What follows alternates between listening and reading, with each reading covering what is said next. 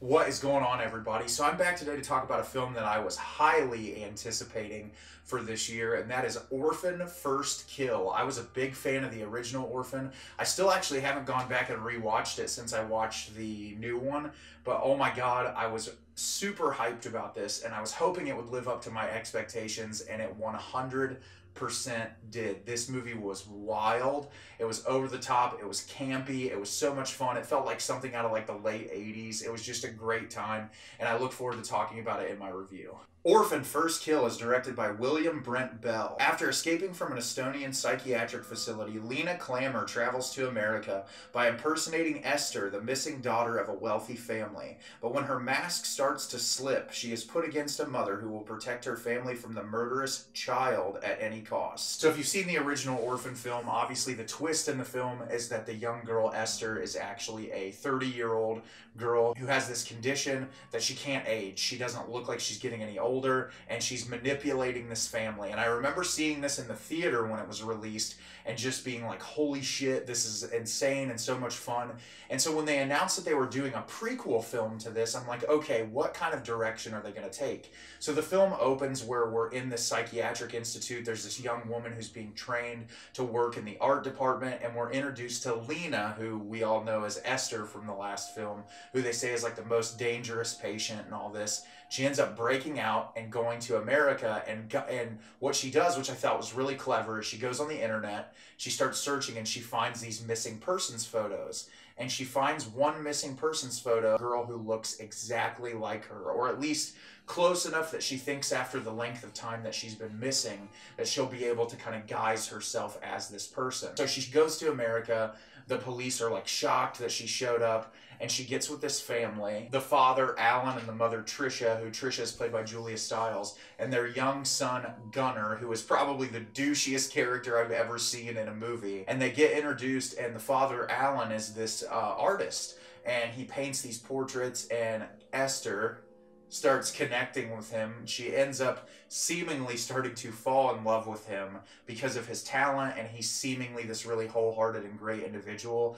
And what we learn is not everything about Julia Stiles' character and their son is all it's cracked up to be. And this movie is a campy, over the top, fun ride.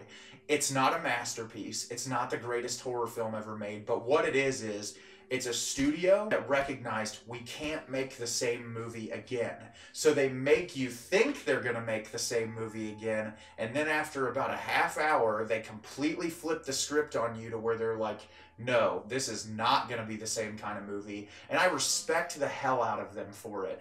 It was so much fun and so much better than I could have ever expected. Isabelle Fuhrman, who plays Leena or Esther, she is just such an incredibly talented actress who everything I've seen her in recently, she's amazing. And at first, it's kind of jarring when you see her playing this young girl again because obviously they're using. Uh, um, trick methods on you as the viewer where, where they'll have a stand-in stunt double from behind her and she's talking to a character because of the size differentiation and then there's like a, there's a lot of different tricks that they'll pull as filmmakers and at first, it took me out of it a little bit. I was like, okay, this is kind of hokey. But as the film kind of starts to draw you in, you really care less and less about it the further that it goes on. And I think that her character is so menacing and evil that she does such a great job. But what I like is this movie flips the script on you to where you're actually rooting for her at periods of time. And I thought that was a really cool subversion of the original film. Julia Stiles is camping it up to the extreme in this movie, especially when the plot twist happens. She's just really over the top and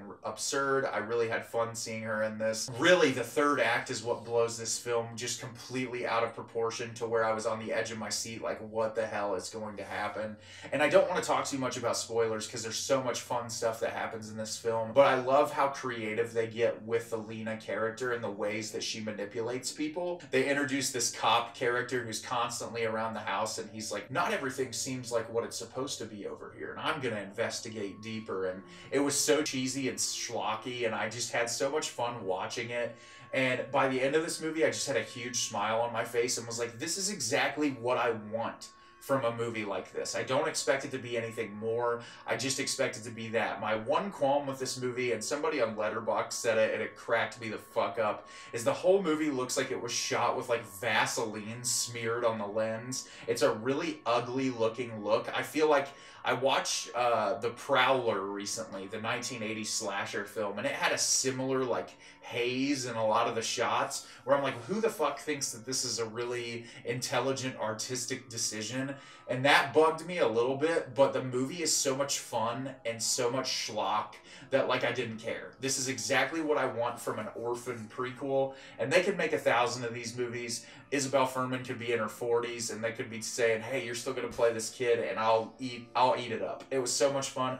I watched this movie on streaming. I kind of wish I would have seen this in a crowded theater because I think seeing people's reactions would have been a blast. But this is one that if you have a Paramount Plus subscription, or if have a theater near you that's showing it, just go watch it. It is such a blast. So, if you've seen Orphan First Kill, did you love it? Did you hate it? Leave me a comment down below and let me know what you thought. I thought this movie was a blast. I never would have expected a prequel to a movie from 2009 to be this incredible, and I loved it. As always, if you like the video and subscribe to the channel, it helps me out a lot and lets me know the type of content you're looking for. I'm always putting out new material and look forward to getting more out for you in the near future. And as always, everyone, thank you so much for watching and have a great rest of your day.